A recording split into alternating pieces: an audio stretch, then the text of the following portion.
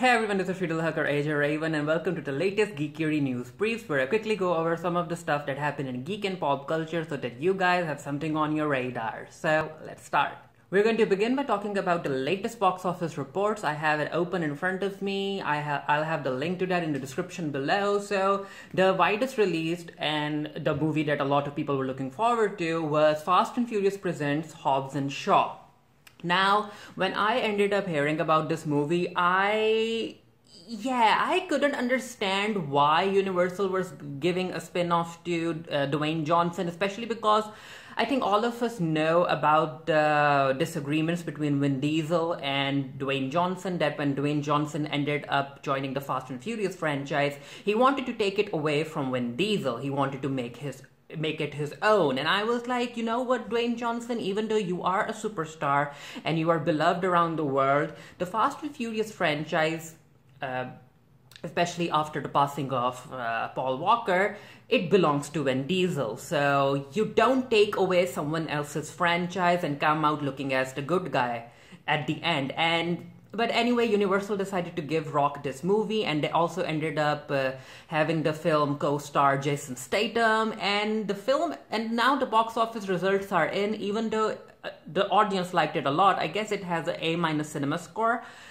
Well, the box office numbers don't lie, and it ended up grossing only 60.8 million at the weekend box office, which, if you guys look at the past results of the franchise, it's the lowest opening for the Fast and Furious franchise since 2019. So the lowest opening in almost a decade.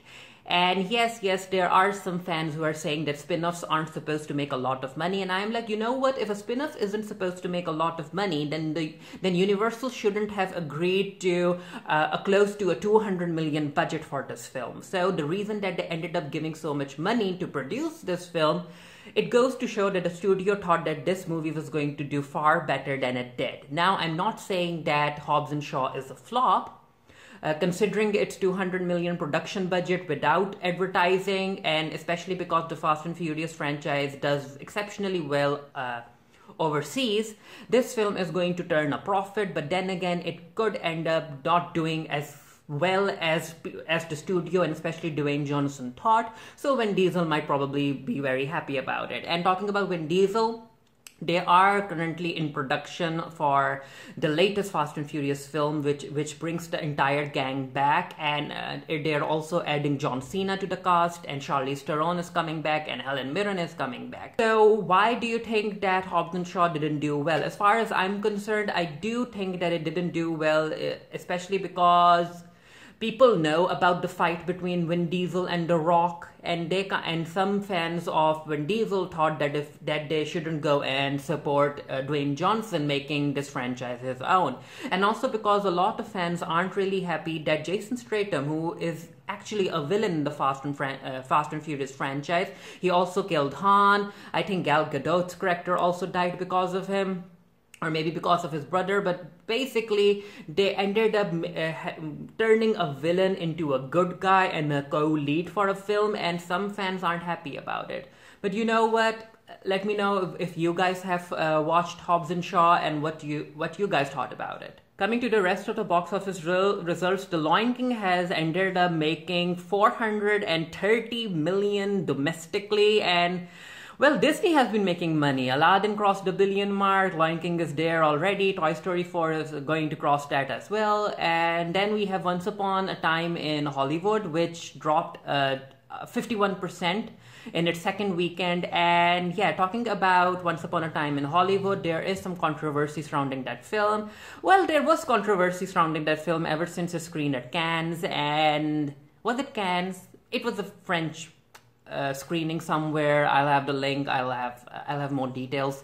But yeah, people are not happy with how uh, women, fictional women, were treated in this film, especially because this film used Sharon Tate's unfortunate murder. And also, uh, Bruce Lee's daughter came forward and she isn't happy about how this film ended up ruining her father's legacy, which, yeah, I mean, Bruce Lee is known all around the world and and Quentin Tarantino doing that to Bruce Lee, yeah, not not a good artistic choice. I don't even know why he did it, but anyway, let's see how this film does when award season kicks in.